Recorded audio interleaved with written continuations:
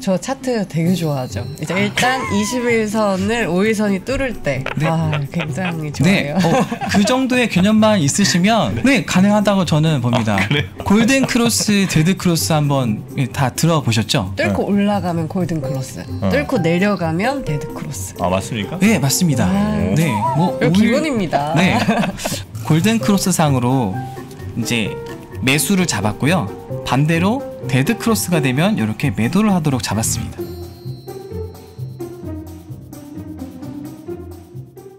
네, 3프로 TV 구해줘 주린이.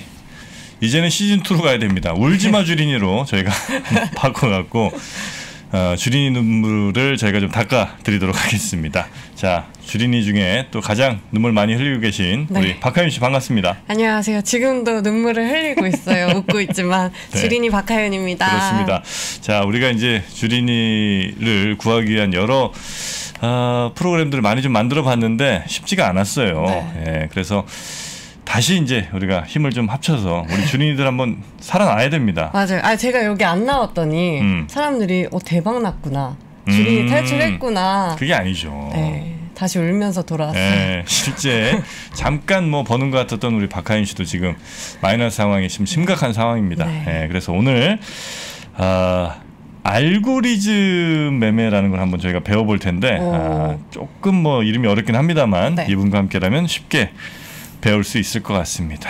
자, 오늘 함께 해주실 분은요 하나금융투자의 손경석 연구원님입니다. 어서 오십시오. 네, 안녕하세요. 네, 반갑습니다. 안녕하세요. 네.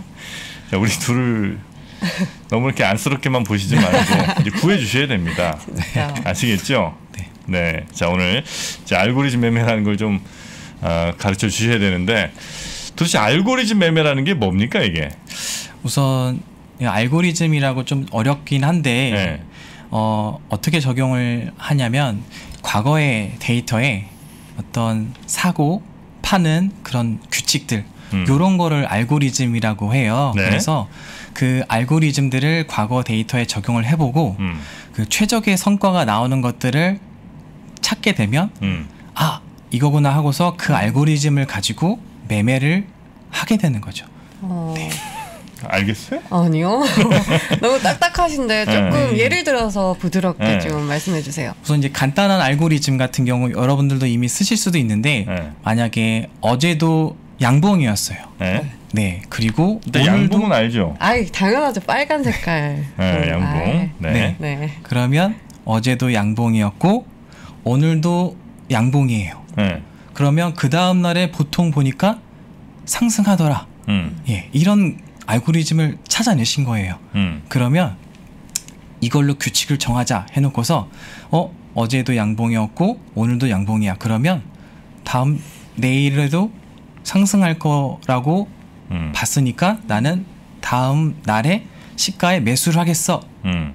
라고 일종의 규칙이 생기잖아요. 네. 그냥 이대로 매매하시는 그 자체가 알고리즘 매매. 그러니까 여러분도 이미 하시고 있는 거라고 생각하시면 될 것 같아요. 음. 우리가 이- 이미 이제 대충 감으론 하고 있지만 이걸 좀 더 명확하게 음. 어, 분석을 해서 하는 게 알고리즘 매매다 이렇게 생각하면 됩니까?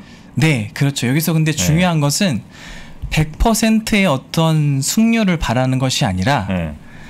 조금이라도 이길 수 있는 확률. 네. 무조건 다 이길 수는 없잖아요. 음. 그래서 확률이 조금이라도 더 우세한 그 알고리즘을 찾아내서 음. 내가 그대로 매매하는 게 요 알고리즘 매매의 핵심이라고 음. 예, 어, 보면 될 것? 같습니다. 이게 하면 좋은 이유가 이길 확률이 높아진다는 거예요. 그러면? 이길 확률이 높 다고는 볼 수는 없고요. 높은 알고리즘을 네. 찾아야 된다는 거죠. 근데 저희도 지금 알고리즘 매매를 하고 있다고 말씀하셨잖아요. 네. 근데 굳이 이 방법을 택해야 하는 이유가 있을까요? 우선은 이 알고리즘 매매를 하는 이유 중에 하나는 음. 최대한 미리 규칙을 정해서 네. 투자의 실수를 줄이겠다. 음. 요게 있겠고요. 네. 두 번째로는 사전에 그 규칙을 통해서 검증을 하면서 음. 이제 비용을 줄일 수 있다. 이런 관점으로 이제 접근을 하시면 될 것 같아요. 네.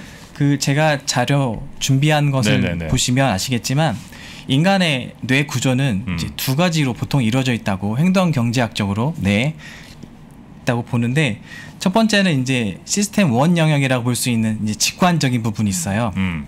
이 영역은 이제 정프로님 보고 아 보자마자 잘생겼다 이렇게 어. 예, 박하윤님 보고 아 고맙습니다. 아 진짜 이쁘다 이렇게 어, 하는 진짜다, 저거. 네, 그죠? 이런 게네 직관적인 영역이라고 보시면 되는데 네, 네. 두 번째 영역은 잘 사용하진 않지만 분석적인 영역이라는 게 있어요. 네. 딱 정프로님 보고 아저 눈썹에서 코 밑에까지는 음. 10cm고 음. 입술은 5cm니까 아 요거는 잘생겼다라고 판단해서 이 음. 기준을 가지고 어. 다른 사람한테도 기준을 맞춰서 아 코에서 저 입술까지 몇 음. 센치니까 잘생겼네 아 이 사람은 잘생긴 사람이다 네네. 라고 판단하는 그 시스템 구조를 음. 이제 두 번째 시스템 구조라고 하는데요. 네. 삶에 있어서도 이제 이런 두 가지 방식으로 선택을 많이 하게 되는데 음. 보통 이제 투자를 하게 될 때 또 동일한 이 시스템 원이든 투든 음. 두 가지 방식 중에 하나를 선택해서 사용하게 되는데 네. 보통 박하윤님께서는 네. 예, 어떤 걸 통해 투자를 하시죠? 저요, 저는 요즘에 좀 투자 제대로 해야 된다라는 음. 생각 때문에 좀 길게 보고 이 세상이 어떻게 변하는지 그런 걸 생각하지만 투자는 옆에서 누가 좋다 그러면 바로 사버리는. 맞아요. 대부분 저도 그렇고 제 아내도 어떻게 사냐 이렇게 네. 물어보면 아 제 남편이 추천해 주는 거. 네. 네. 아. 그게 뭔지도 모르는데 그냥 네. 어, 어디서 듣고 그냥 네. 그렇게 투자를 하는 경우가 예, 실제로 많습니다. 그래서 네. 결국에는 내가 본 그 뉴스를 가지고 음. 아 이게 어, 왜 이게 투자를 해야 되고 매수를 해야 되는지 이런 관점이 아니라 네. 이거를 일단은 듣고 매수를 하고 음. 부푼 가슴을 안고 기대를 기대 수익을 높여 잡는 거죠. 음, 음. 그리고 내가 오는 그 기대 수익까지 음. 끝까지 기다리거나 음. 아니면 또 이제 가슴 저민 그런 장고 현황을 보면서 계속 음. 슬퍼하는 그런 경우가 강제 장투. 그렇죠. 예, 강제 장투 좀 예, 강제적으로 나는 이제 내 매매 스타일은 존버가 네. 되는 거죠. 네. 그래서 사실상 이제 뭐 어쨌든 이 부분에 대해서 어뭐 이제 위로의 말씀을 드리면 결국 일반인 대부분의 99.9%의 사람들은 음. 이런 식으로 투자를 할 수밖에 없고 이렇게 음. 선택을 할 수밖에 없다는 거죠. 음흠. 네. 그래서 결국엔 이제 어 우리가 인간의 한계가 있으니까 음. 알고리즘 미리 규칙을 정해서 매매를 하자. 이런 관점으로 보시면 네. 될것 같습니다. 여기서 하나 그 논리적인 이제 모순 하나를 제가 발견하고 있습니다. 어. 네. 자, 99%의 사람들이 이런 식으로 투자를 하잖아요. 네. 그러면 이 투자 대부분의 사람들이 이렇게 하는 투자 방법을 그대로 이용하는 게 더 좋은 거 아닌가? 즉 알고리즘으로 정해놓고 하는 것은 이 사- 수많은 사람들이 움직이는 것과 다르게 가는 거 아닌가? 요거 어떻습니까? 요거는 말문이 막히셨어요. 근데 저도 네. 한, 한, 한 말씀 덧보태서 네. 제가 이제 사람들이 좋다고 하면 사잖아요. 음. 그걸 들은 수많은 사람들이 사면 같이 이제 올라가는 거 아니에요? 그렇지. 예, 뭐 그럴 수도 있죠. 네. 근데 이제 어 뭐 이런 것들이 결국에는 지금 계속해서 이어질 건데요. 네, 네. 그 여러 가지 인간의 한계에 대해서 디테일하게 좀 살펴볼 보면 아. 네. 그러니까 뭐 그럴 수는 있어요. 듣고서 음. 이제 진입을 할 수는 있어요. 음. 근데 문제는 어 이게 진입을 했을 때는 굉장히 매력적인 가격이었던 거예요. 음. 근데 그 다음에 어떤 시장의 수금이나 음. 아니면 다른 뉴스 아니면 뭐 예를 들면 2020년 코, 어, 코로나 팬데믹 음, 사건 때 3월 이전까지 상당히 장이 굉장히 좋았거든요. 네. 기억하겠지만 음. 기억하시겠지만 음. 근데 이 사건이 일어나고 나서 내가 매수한 그 가격에 어 절대로 내가 이제 좋은 거예요. 음. 그래서 지속적으로 이제 그 본전 생각만 하게 되는 거죠. 음. 네. 그런 거를 이제 기준점 편향이라고 하는데요. 네. 그 제가 올려드린 자료를 보시면 아시겠지만 음. 그 에드워드 소프라는 분이 있어요. 소프. 네. 네. 그 퀀트 투자의 아버지라고도 하시는 예, 아. 아버지이십니다. 네, 네, 그래서 네, 네. 이분이 1998년까지 20년 넘게 네. 25%의 매년 수익률을 거두셨대요. 오. 하지만 우리가 위로를 얻을 수 있는 거는 네. 이 분도 초창기 투자 시에는 음. 이제 중고차 관련된 주식을 이제 매수를 음. 잘못하셨다가 음. 이제 곤두박질 치는 것까지 계속 구용하시다가 네. 결국에는 본전쯤에 와서 음. 예, 2년이 넘게 어, 와서 이제 본전에 왔는데 음. 그제서야 팔긴 팔았어요. 손실은 보진 않았지만 음. 어 그분이 이제 이렇게 투자의 한 행태를 경험하시고 나서는 네. 아 내가 기준점 편향에 걸렸구나. 음. 네. 요렇게 인간의 한계를 또 경험하셨다는 거죠. 뭐 저희도 누구나 인- 네. 예, 인간의 한계들이 있죠. 그리고 뭐 99%의 사람들은 대체로 뭐 이렇게 한다고 하지만 그래도 또 어, 기관이라든지 네. 큰 자금 같은 경우는 그렇게 또 판단하지 는 않기 때문에 어, 돈의 비율은 아마 이게 99대 1이 아니고 그 돈 비율로 따지면 아마 그 사람들이 숫자로는 뭐 1일지 몰라도 아마 한 50 내지 60 이렇게 굉장히 클 거니까 예. 아마 우리가 생각하는 대로 가는 거와는 또 다른 방향으로 시장이 어. 움직일 수도 있을 것 같기도 하고요. 네, 맞아요. 네. 그래서 결국에는 개인의 입장에서 어떻게 어떤 방식을 통해서 투자를 할 수 있을까 음. 이런 것들을 이제 고민을 해야 되는데 네. 뭐 예를 들면 우리한테 있어서 뭐 계속 이어지겠지만 뭐 손실 회피 성향이라는 것도 있고 아. 네 않으려는 네. 욕구가 굉장히 강한 어, 거죠. 저 그래요. 네. 그래서 지금 제가 한, 아, 그래요? 저 한 거의 한 20개의 종목이 있거든요. 네. 거기서 18개가 지금 마이너스인데, 어, 어. 그걸 못 버렸어요, 다. 아, 그렇지. 아, 그리고 예를 들어 내가 네. 만 원에 샀는데 만천 원인 게 있고 구천 원인 게 있잖아요. 만천 원에 대한 기쁨보다 구천 원에 대한 아픔이 훨씬 커. 어, 맞아. 네, 맞습니다. 네, 그러니까 어떻게든 좀 손해는 안 보려고. 네. 네. 그래서 이 손실을 회피하고 싶은 네. 음.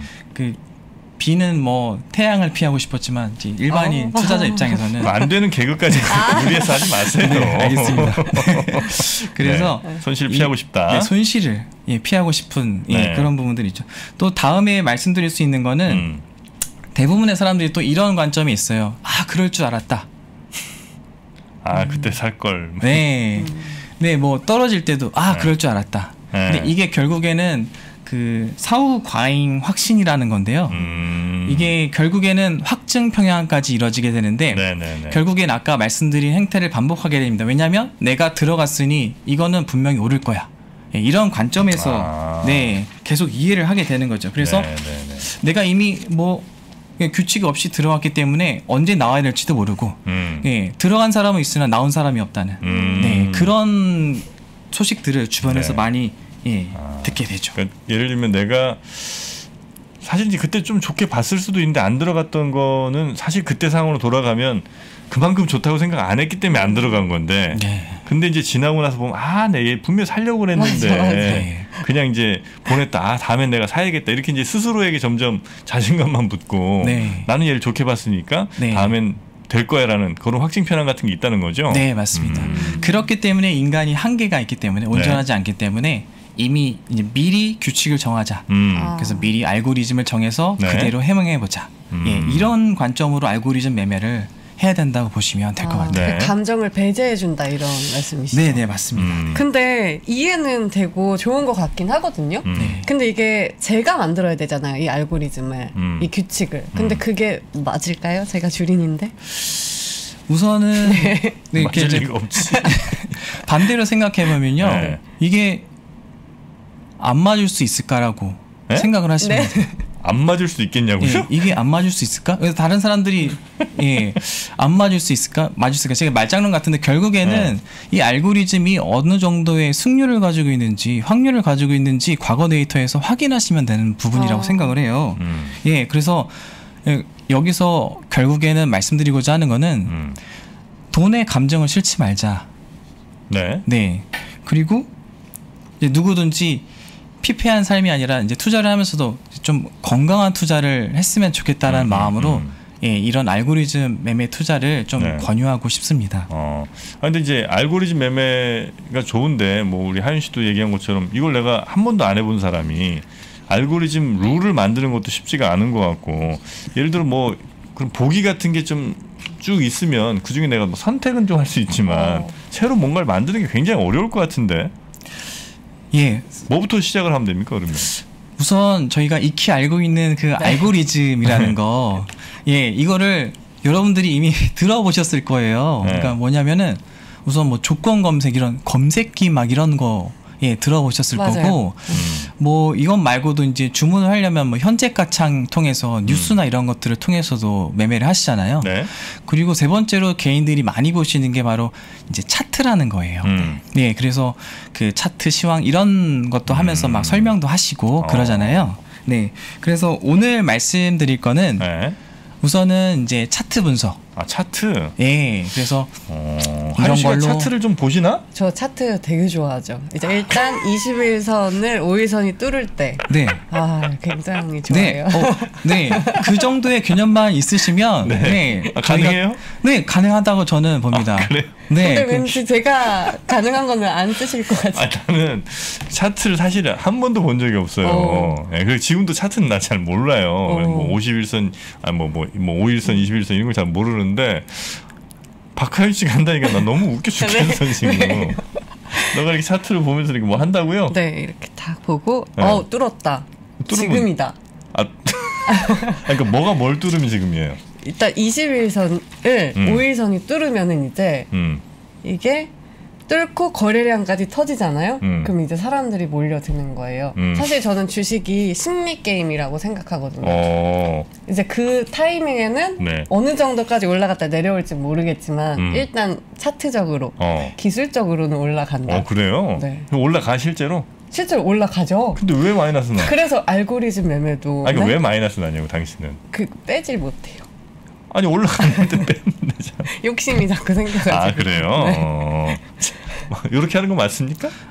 아, 네, 맞습니다. 어쩜 그런데 네. 이제 박하윤님께서 이제 간과하셨던 부분은 네. 진입할 때는 분명히 이제 자기가 정한 규칙이 있으신 네. 것 같아요.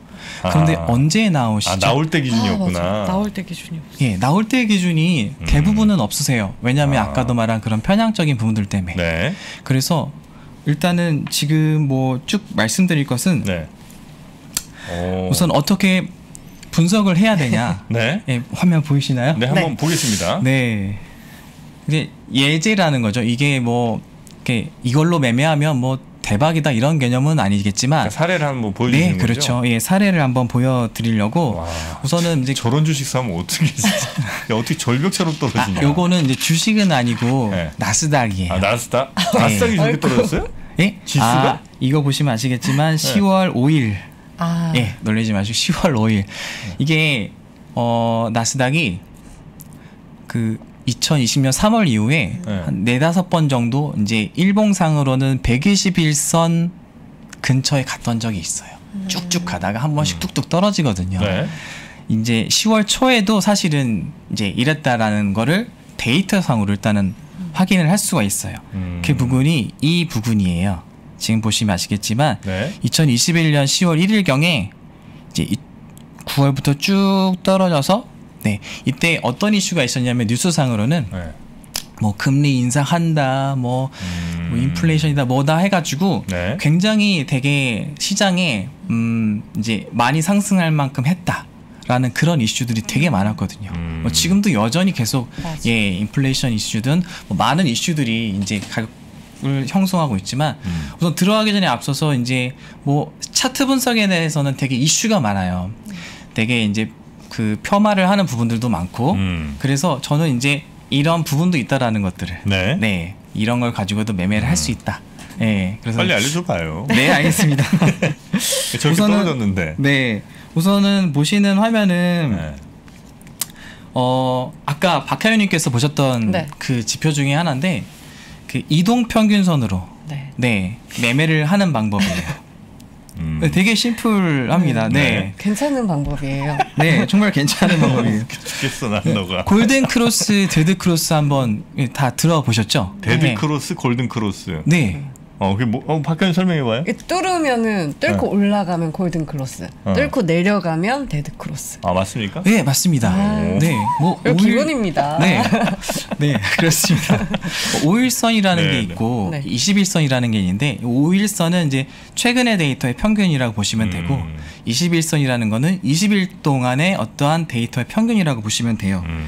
그래서 보통 아까 박하윤님께서 말씀하신 대로 어 5일선이 21선을 밑에 있다가 위로 뚫고 가면 이런 걸 골든 크로스라고 음. 보고요.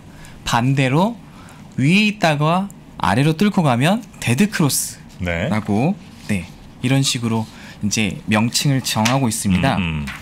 이거는 이제 실제로 하나금융투자에서 제공되는 실제 화면이고요. 어. 차트 화면, 예, 어느 증권사에나 다 있는 차트 네, 화면입니다. 네. 네. 그래서 여기 보시면 제가 정한 거는 이제 가격 이평 5일선이 있고 음. 여기 21선이 있어요. 음. 그래서 여기 보시면 이제 골든 크로스 상으로 이제 매수를 잡았고요. 반대로 데드 크로스가 되면 이렇게 매도를 하도록 잡았습니다. 그러니까 주황색이 어, 21선이고 네. 빨간색이 5일선입니까? 아, 네, 맞나요? 맞습니다. 네. 네, 그래서 여기 보시면 아시겠지만 어, 실제로 골든 크로스에 의해서 이제 매수가 됐고요. 네. 어, 그리고 데드 크로스에서 매도가 됐습니다. 음. 네. 그래서 손실을 줄일 수 있었네요. 그렇죠. 예, 보시면 딱 아시겠지만 음. 이 차트에서 적용해서 보는 게 참 좋은 거는 직관적이에요. 아, 그러니까 저게 어, 이익으로만 따지자면 사실 최고 이익을 가두지, 거두진 못했네요, 그죠? 예, 최고점에서 맞습니다. 팔지는 못했으니까. 네, 하지만 그렇습니다. 어, 데드 크로스, 아, 골든 크로스에서 데드 크로스를 매수 매도를 하니까 네. 저도 손해는 안 보고 네. 괜찮은 성적이 좀 있었네요. 네. 들어갈 줄도 알아야 되지만 음. 빠져 나올 줄도 아. 네, 아, 알아야 저를 됩니다. 보고 말씀하시는 아, 아, 네. 아, 이게 이제 심플한 그 알고리즘 매매 하나를 그냥 보여주신 거죠? 그렇죠. 예. 네. 가장 심플한 어느 차트에서나 어. 확인할 수 있는 누구나 이제 그려볼 수 있는 아, 그 골든 크로스에서 들어간 적이 있어요, 우리 박하윤 씨는? 많이 들어가요. 아, 그 이게 네. 일봉으로도 들어갈 수도 있고 음. 분봉으로도 들어갈 수 있잖아요. 분봉? 네, 단타로 할 때는 이제 분봉을 보고 들어가는데 아, 난 너무 웃겨, 너가. 이렇게 하시는 분들이 꽤 있으실 아, 거예요. 그렇게 해봤어요, 그죠? 그렇게? 네. 그 데드 크로스 왜 안 네, 팔았어요? 일이 없어가지고 와, 뭐하지? 이걸로 오늘 돈 좀 벌어볼까 하고 분봉을 켜놓고 한번 어, 해봤거든요. 해봤어. 근데 정말 돼요. 근데 저, 저도 알고리즘 매매가 필요하다고 느낀 게 어. 이게 사람의 감정이 들어가다 보니까 음. 어느 정도 올라가면 욕심을 버려야 되는데 음. 이 버리지 못하고 이게 또 내려와요. 음. 그러다가 한 번 더 크로스가 될 때가 있거든요. 음, 음, 그럼 음. 그때까지 노리다가 거기까지 안 가면 음. 완전 하락인데 아. 버리질 못하고 그렇죠. 이걸 이제 그러다 보니까 제가 계속 종목들이 많아지기 시작했어요. 아니 분봉이랑 그럼 또뭐 뭐 5분봉이 있어요? 20분봉이 있어요? 뭐 어떻게? 20분, 5분, 1분, 3분. 아 분도 그렇게 있어 다? 네. 아 그래요? 네. 사실 지금 보시는 왼쪽 차트가 5분봉 차트거든요. 어. 아 그래서 그래요? 더 급하게 이제 내려가는 것처럼 저걸 하려면 그럼 계속 보고 있어야 되겠네 그죠? 사실 투자를 하는데 여러 방법이 있을 수 있습니다. 어떤 회사의 가치를 믿고 내 이제 장기적으로 뭐 가겠다. 이 회사는 정말 괜찮은 회사인 것 같다라고 해서 이제 들어가시는 분들도 당연히 계시고, 네. 그다음에 말씀하시는 것처럼 뭐 여러 차트라든지 아니면 기술적 분석을 통해서 또 주식 매매를 하시는 분들이 계신데 오늘 설명해 주시는 거는 이제 후자 쪽에 네, 특히 이제 맞습니다. 그 중에서도 어, 알고리즘이란 어떤 나만의 룰 같은 거 쉽게 얘기하면 네. 그 룰을 세워놓고 거기에 맞게 주식을 사고 파는 것이 아, 손실을 줄이는데 그리고 내 감정에 휘둘리지 않는데 굉장히 좀 도움이 될 수 있다. 네. 이런 말씀이신 거죠. 네 맞습니다. 그러면은 음. 이렇게 알고리즘 매매를 통한 성과들이 있을까요? 우선은 이제 아까 말씀드린 두 번째 음. 왜 해야 되느냐 비용을 줄일 수 있다라고 말씀을 드렸어요. 음. 근데 그 부분이 어떤 거냐면 과거 데이터가 저희가 많잖아요. 음. 어디 증권사든 근데 거기서 데이터를 불러와서 내가 음. 정한 알고리즘을 적용해 보는 거예요. 음. 그래서 오늘 한번 적용해서 한번 아, 그럼 예, 바로 바로 확인됩니까? 네. 어, 그래서 지금 방금 제가 어, 박하윤님처럼 네. 골든 크로스 매수, 음, 데드 크로스 매도. 네 해서 적용해서 바로 확인을 해보면요. 네. 네. 아 마이너스가 나왔어요. 어? 뭐야? 마이너스가 왜 나와? 네. 나올 수도 있다는 거죠, 근데 나올 이렇게? 수도 있다는 거죠. 아, 그래. 근데 아시겠지만 이게 너무 시장에 많이 알려진 기본적인 거고요. 아. 네. 근데 이거에 따라서 사실은 네. 이제 다른 조건들이 붙어요. 네. 네. 그 조건들을 하나씩 하나씩 추가를 하면서 네. 이제 과거 데이터에 어. 실제로 결과가 어떻게 나오는지 요것들을 한번 살펴볼 거예요.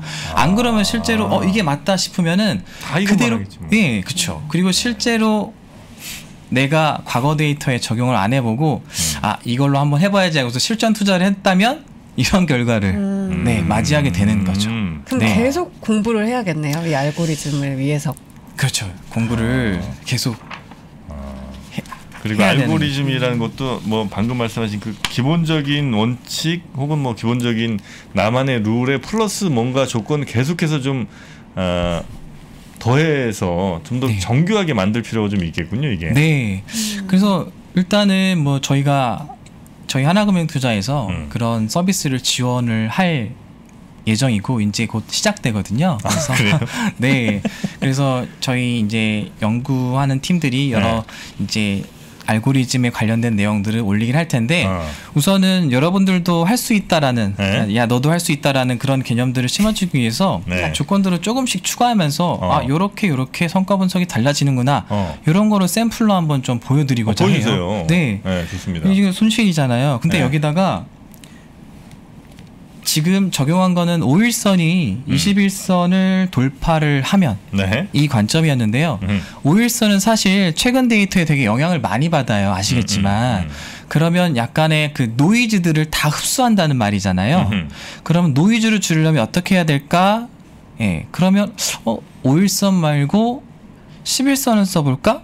그냥 되게 상식적인 개념이죠. 음. 네. 그래서 그냥 제가 11선을 음. 적용을 해볼게요. 네.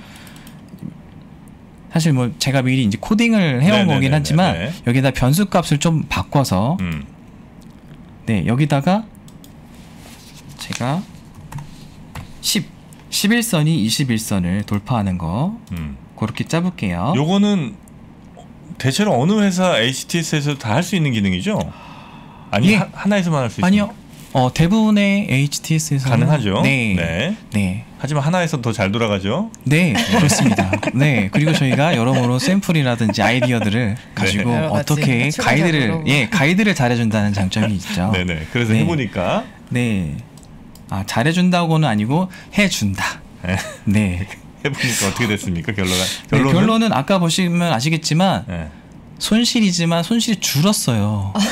아까 5일선하고 21선 비교해서 골든크로스, 데드크로스, 매수, 매매 요거를 네. 11선으로 바꿔서 골든크로스, 데드크로스를 해보니까 네. 손실은 좀 줄더라. 네, 손실이 줄더라. 하지만 플러스는 아니더라. 아직 플러스, 플러스는 아니더라. 아, 그럼 뭔가 더 추가해 주세요. 네, 그러면 또, 또 상식적으로 접근할 수 있는 거예요. 누구나 네. 생각할 수 있는 게 사실 이게 아까 말씀드렸다시피 음. 나스닥 기준으로 5분봉이라고 말씀드렸잖아요. 음. 근데 사실 미국장이라는 게 음. 미국 지수라는 게 아시아장에서 많이 움직일까요? 유럽장에서 많이 움직일까요? 유럽장.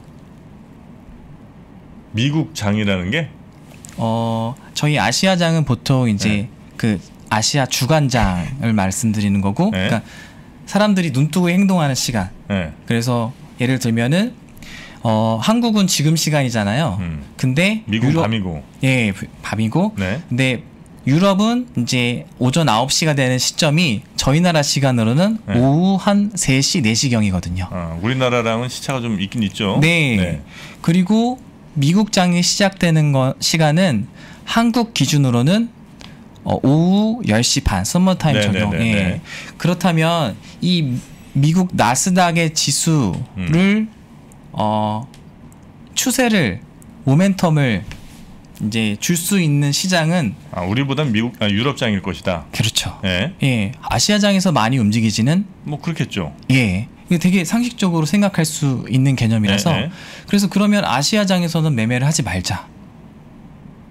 아시아장에서는. 네, 아시아장에서는 시, 지, 그러니까 아시아장 시간에서는 네. 진입을 하지 말. 그러니까 어 유럽 장이 활발해지긴 시간이 음. 오후 3시, 4시니까 네. 이제 파생 기준이긴 한데 음. 미국 나스닥 선물 기준으로 해서 음. 그러면 아시아 장이 활발한 시간, 그러니까 음. 9시에서 음. 어, 예를 들면 오후 한 3, 4시까지는 음. 진입을 하지 말자. 근데 유럽인들이 막 이제 활발하게 음. 거래를 하기 시작하는 그 시점인 음. 오후 3시경부터 어, 한번 매매를 해보자. 음. 이런 컨셉으로 접근을 하려고 해요. 네. 네. 요거는 그러면 어 뭐 20일 뭐 5일 이렇게 하는 거예요? 아니면 그냥 시간 단위로 하는 거예요? 시간으로 한번 쪼개보려고. 아, 시간을 쪼갠다. 예, 예. 아, 알겠습니다. 예, 그래서 이제 제가 이제 샘플로 내세운 거는 미국 나스닥 선물이니까 음. 이게 장이 계속 돌아가거든요. 네. 네, 그 중에서 어 나는 이제 오전 시간에는 진입을 안 하고 음. 나는 오후 시간, 우리 장이 다 끝나고 그렇죠. 오후에 네. 진입을 음. 한다. 시작하고 15시부터만 나는 진입을 할게. 음. 라고 조건을 추가를 해볼게요. 아, 그렇게 시간대별로 조건 추가하는 것도 가능하다. 그렇죠. 아, 네. 그 기능을 말씀하고 싶으셨군요.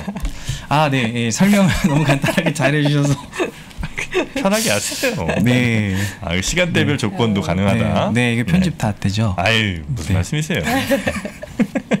그래서 네. 어, 정프로님이 정리해 주신 대로 네. 시간대 내가 원하는 시간대를 음. 어, 상식적인 수준에서 아 이러 이러하니까 아. 오후 3시부터 나는 진입을 할게 네. 이렇게 넣어버리는 거죠. 음, 음. 그래서 그 조건을 음. 한번 넣어볼게요. 네. 미리 사전에 제가 해온 음. 거를 넣고 네 확인을 누르면 네. 어 수익인데요? 네 오. 오.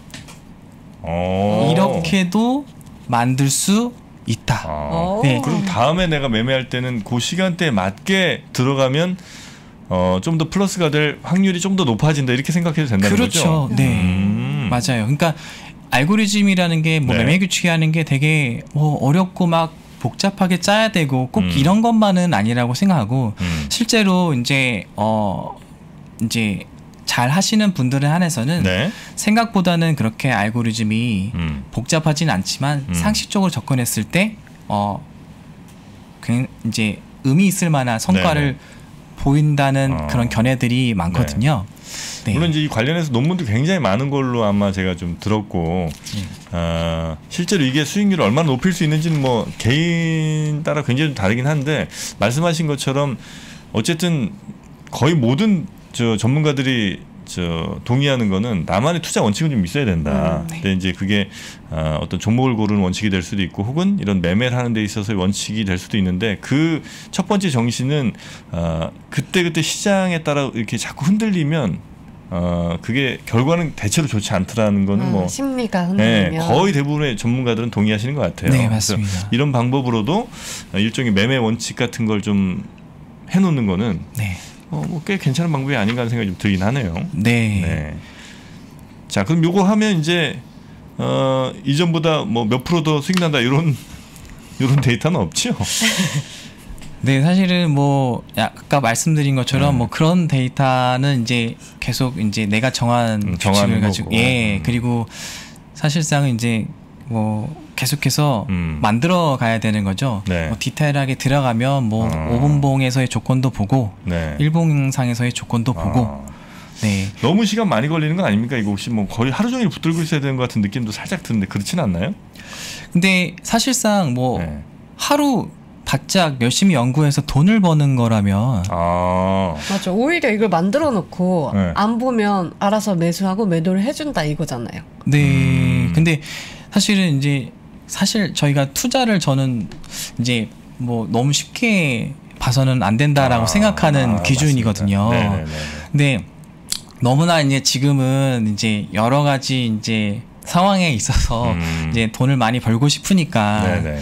이제 직관적인 부분들이 많이 없었는데 음. 사실은 이제 이런 알고리즘 매매라는 거를 통해서 네. 이제 그 자기 매매에 대한 복귀도 좀 하고 음. 그리고 계속해서 이제 과거 데이터에 음. 규칙을 적용해 나가면서 네. 아 이런 걸로 매매를 계속 해 어. 나가야 되겠다라고 네네. 네 결국에는 좀더 이제 건강한 좀 투자를 네네. 했으면 하는 마음으로 음, 예 이런 방법도 있다라고 말씀을 네. 드리고 싶어요. 네. 그 말씀 들어보니까 이걸 뭐 반드시 예, 이거에 완전히 종속될 필요도 없는 것 같기도 하고요. 그리고 네. 내가 이제 사고 팔 거를 이제 살 거를 마음을 먹었을 때 지금 시점이 괜찮은가를 한번 이걸로 테스트해 보는 것도 좋은 것 같긴 하네요. 어. 네 예, 맞습니다. 그러니까 반드시 꼭 이걸 따른 건 아니지만 대충 보니까 지금 골든 크로스쯤 내가 와 있어. 그럼 지금은 어, 내가 이걸 들어갈 때 좀 더 확신도 생길 수 있고 자신감이 좀 생길 수 음. 있을 것 같아요. 네, 아, 지금이 골든. 크로스구나. 네. 이런 느낌이 들면 네. 팔 때도 역시 너무 힘들잖아요. 이거 네. 언제 팔아야 되는지. 근데 데드 크로스가 나오는 걸 딱 이걸 수치로 확인했다면 아 지금은 비록 최고점은 아닐지라도 어, 더 큰 손실을 막기 위해서는 이쯤에서는 차라리 판매 아, 매매를 하는 게 더 좋은 방법일 수 있겠다는 생각. 네. 왜냐면 이제 그런 감조차 없으면 맞아. 사실 언제 팔아야 될지 진짜 그러다가 이제 타이밍 놓치는 경우가 되게 많거든요. 네, 네 맞습니다. 아, 그런 걸로 활용하는 거는 굉장히 좋은 방법인 것 같습니다. 네. 자 그러면 어, 이렇게 이제 매매 어떤 룰 같은 걸 세웠다 치고 뭐 돈 또 얼마 태울 건지 이런 것도 좀 어, 계획적으로 가야 되지 않겠습니까? 네, 맞습니다. 실제로 뭐 예를 들어서 방금 나온 뭐 성과 분석 결과를 보면은 네. 이만큼 수익도 있지만 손실이 난 구간들도 있거든요. 음. 그러면 제가 이제 손실이 들어갔을 때 음. 어, 적어도 이만큼 손실은 이제 감안을 하고 이미 마음의 준비를 하고 네. 예, 들어가 있다는 거죠. 음. 몇 번의 진입을 계속 하게 되잖아요. 네네. 근데 결국에는 이게 확률 게임이라고 말씀드렸다시피 음. 지는 경우도 있어요. 네. 예, 그럴 때는 나는 자금을 어떻게 하겠는가? 어. 아, 이 정도까지 기존에 내가 데이터 분석을 해서 음. 이 정도까지 손실이 나왔으니까 이 정도를 감안할 수가 있겠구나. 네. 그러면 나는 돈을 얼마나 준비해야 되겠다. 음. 이런 자금 계획이 필요하게 되는 어. 거죠. 어, 우리 씨는 자금 계획이 어떻게 되죠? 자금 겨, 자금 결혼 자금 계획 말고 자금 계획 투자 자금 계획이 투자 없죠. 자금 계획이 네 사실 없어요. 보통 우리 하윤 씨나 저 같은 경우도 어, 일단 통장에 있는 돈 예를 들어 뭐 네. 3천만 원이다 치면 일단 주식으로 에이 다 하는 건 좀 위험하지 이러면서 천만 원 태워요. 보통 이제 루트가 그렇습니다. 천만 원 태우고 근데 얘가 뭐 한 20% 수익이 나든 아니면 20% 마이너스 20% 수익 나면 야 이게 어, 더 천에서. 천에서 200 걸었는데 내가 열심히 방송해봐야 뭐해 아. 그러면서 이제 나머지 2천 남은 거 중에 한 2천 혹은 뭐 1,500 이렇게 더 들어가죠 음. 근데 만약 마이너스가 나도 네. 야, 1000에서 800 됐으면 너무 열받잖아요 네. 그러니까 이거 빨리 물 타서라도 뭘 좀 마이너스 폭을 줄이고 싶고 이러면서 이제 계획 없이 막 더 들어가는 경우가 많아요 네, 맞습니다. 근데 이제 그렇게 하면 또 위험하다 이거죠 그럼 어떻게 그렇죠. 자금 계획을 음. 세워야 좋을까요? 아까 말씀드렸다시피 그 보고서를 보면 다 확인이 되는데요. 음. 내가 최대로 거둘 수 있는 수익이 음. 어느 정도 잡혀질 거고 네 하다 보면은 내 잔고가 어느 정도 마이너스 음. 네 되는 거를 감안해서 음.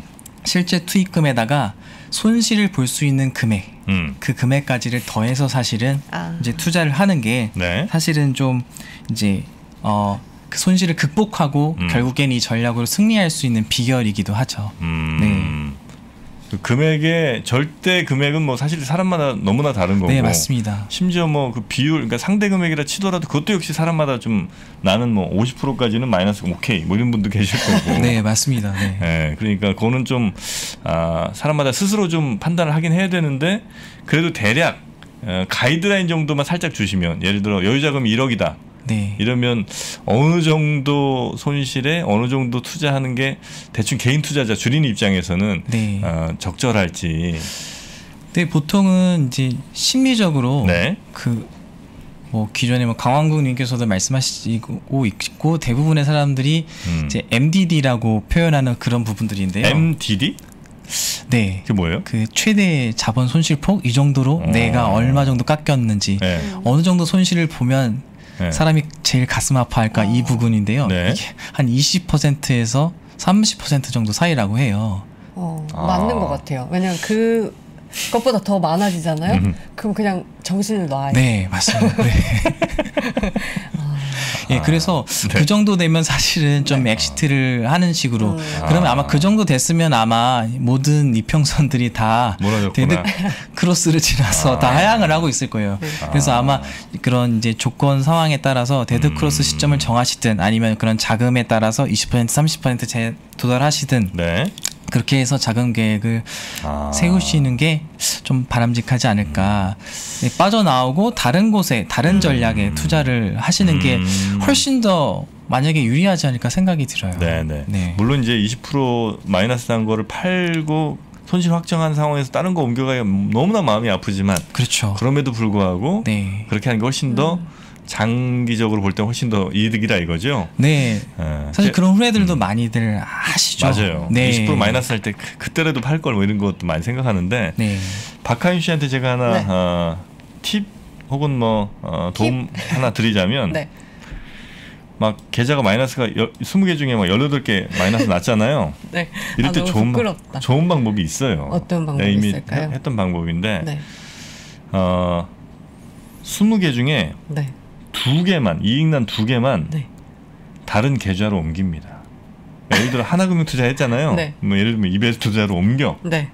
그리고 이베스트에서 새로 시작하는 거예요. 아 보질 않아. 하나금융 투자권 아예 안 열어보는 방법. 정신 건강에 매우 좋습니다. 지금 굉장히 이를 꽉 깨물고 계시는데 하나금융을 안 본다는. 아니, 그러니까 뭐 이게 특성이 아니고 그렇게 옮기는 방법. 제가 그래서 계좌가 한 네 개인가 있어요. 옮겨 다니셨군요. 헌집 다 이제 저쪽 몰아놓고 어, 또 옮겨서 또 안 돼갖고 또 옮기고. 예. 근데 나중에 보면 올라와 있나요? 그거는 확인해봐야죠 나도. 그냥 뭐 그런 일은 거의 없더라고. 예. 거의 없습니다. 네, 맞습니다. 아, 네. 참고해 보도록 하겠습니다. 예, 저 그러니까 우리- 궁금한 게 있는데 음, 음. 이 알고리즘으로 다시 돌아와서 음. ETF도 알고리즘이 된다고 하더라고요. 음. 맞나요? 그렇죠. 예. 일단은 ETF도 이런 차트 분석으로 가능하고요. 네. 그리고 뭐 차트 분석뿐만이 아니라 이제 사실은 알고리즘 매매라는 게 차트 분석에 국한되어 있는 부분은 아니거든요. 음, 그래서 뭐 이제 위대한 투자자들이 음. 옛날부터 이제 말씀하시는 그런 그런 기법들이 있어요. 음. 흔히들 알고 있는 뭐 네. 유동 자산의 어떠한 그 비율을 가지고 음. 이제 투자하는 그런 방법들 음. 예, 그런 것들은 이제 조건 검색이라는 그런 화면을 통해서 이제 충분히 이제 검색을 해서 그 시점마다 이 조건이 맞는지 여부에 따라서 투자를 하고 또 그거에 따르면 또 음. 이제 이제 포트폴리오 rebalancing이라고 하죠. 음. 이제 과감하게 계좌를 옮- 놔두고 옮겨. 도망가는 게 아니라 음. 과감하게 종목을 이제 버리고 이제 떠나는 예 음. 그런 알고리즘을 이제 생각해서 또 이제 반영을 할 수가 있겠죠. 아, 네. ETF도 그렇게 가능할 수 있다. 네. 결국 뭐 하긴 ETF도 뭐 주식처럼 이렇게 매수 매도가 가능한 거니까. 그렇죠. 네, 네. 맞습니다. 아. 사실은 뭐 ETF가 오히려 개별 종목보다는 음. 조금 더 이제 아무래도 고려해야 될 사- 상황이 조금은 좀 적다고 봐요. 물론 이제 음. 기대 수익이 어 그만큼 나진 않겠지만 네. 사실 저희가 건강하게 잘 살려고 투자를 하는 건데 음. 약간 주객이 좀 더 전도돼서 우리가 좀 이제 그 정신 건강을 해치면서 투자를 하고 있지 않나. 음. 네, 그래서 어 되도록이면 어떻게 하면 좀 건강하게 투자 생활을 할 수 있을지 네. 이렇게 계속 고민을 해보시면 음. 답은 알고리즘 음. 매매다라고 예 계속 말씀드릴 수 있을 것 같아요. 네. 네. 뭐 그럼에도 불구하고 사실 이걸 어, 막상 이제 하려면 그 HTS 창이 굉장히 좀 복잡하잖아요. 맞아요. 개인 저 투자자들 우리 주린이들 보실 때는 네. 뭐 우리 전문가분들 많이 직원분들이 이제 맨날 보시니까 괜찮으실 텐데 사실 이렇게 되게 메뉴도 많고 그렇거든요. 그래서 요거를 좀 어떻게 쉽게 할 수 있는 방법이 없을까?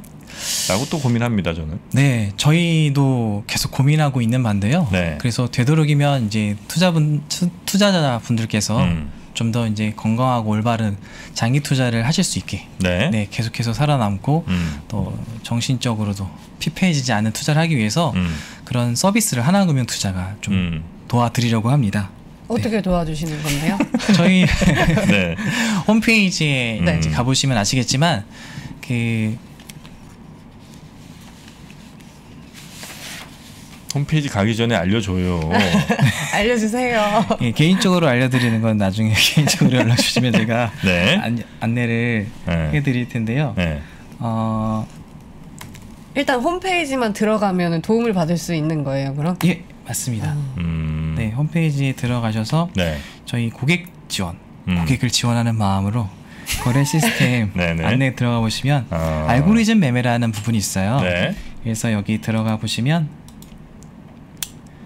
이제 이런 식으로 해서 저희가 알고리즘 스쿨 이런 식으로 해가지고 아. 관련된 어, 화면들이라든지 네. 또 어떻게 해야 이제 음. 규칙에 맞게 알고리즘 음. 매매를 할 수 있는지 샘플 같은 거 있어요? 샘플? 샘플도 이제 여기에 하나씩 하나씩 예, 올려질 아, 예정입니다. 샘플을 좀 많이 주시면 좋을 것 같아요. 왜냐면 네. 내가 내 논리를 만드는 거는 어느 정도 그래도 투자에 좀 자신 좀 생기고 경력도 있을 때 가능한데 네. 처음에는 사실 무슨 알고리즘을 내가 해야 될지 잘 모르거든요. 네, 맞습니다. 그러니까 그 샘플들을 좀 많이 만들어 놓으셔서 네, 알겠습니다. 그렇게 좀 하시기를 좀 부탁드리겠습니다. 아, 네, 네, 알겠습니다. 주린이 대표로서. 네. 아유 됐어요. 우리 아, 우리 손경석 연구원과 함께 알고리즘 매매라는 거 어, 오늘 한번 좀 배워봤는데 네. 어떻게 하윤 씨는 한번 해보시겠습니까? 저 또 마음이 갔어요. 갔어요? 네. 네. 일단 제가 요즘 가장 많이 느끼는 게 돈벌 음. 수 있었는데 너무 욕심을 부렸다. 아. 근데 이런 심리적인 거를 다 배제, 감정을 배제하고 그렇지, 그렇지. 기계가 할 수 있도록 음. 요걸 짜면 된다 이런 말씀이시잖아요. 내 몸이 기계가 되는군. 네. 기계처럼 네. 감정을 배제하는 네, 거. 제가 샘플 만들면 드릴까요? 너 샘플로 내가. 네. 근데 이게 또 그런 것도 계속 봐야 되겠다 그죠? 그러니까 샘플은 있지만 이게 모든 종목, 모든 섹터에 다 적용되는 건 아마 아닐 수 있고 그죠? 네, 이게 그- 더잘 들어맞는 종목이 있을 것 같고 네, 맞습니다. 이런 것도 계속해서 과거 데이터로 많이 좀 어, 연습을 해봐야 되겠네요, 그죠? 네, 맞습니다. 음, 알겠습니다. 하여튼 좋은 샘플들 많이 만들어 주시고 연습 편하게 할 수 있게 하여튼 그 어, UI라고 그러죠. 이게 유저 인터페이스를 좀 어, 소비자 중심, 주린이 중심으로 좀 만들어 주시면 맞아. 좋겠습니다. 알겠습니다. 부탁드릴게요. 우리 손경석 연구원님과 함께 오늘 한번 배워봤습니다. 우리 한 두어 달 해보고 네. 에, 만약에 그대로 잘 되면 네. 해피한 거고 만약에 잘 안 되면 다시 이분을 불러서 네. 예, 한번 따지는 시간을 저희가 갖도록 하겠습니다. 네. 괜찮으시겠죠? 좋겠어요. 예, 괜찮습니다. 네. 자 오늘 저희 주린이 함께 해주신 하나금융투자의 손경석 연구원님 대단히 고생 많으셨고요. 네, 감사합니다. 네 그리고 우리 주린이 대표 박하인 씨도 고생 많았습니다. 고맙습니다. 네, 고맙습니다.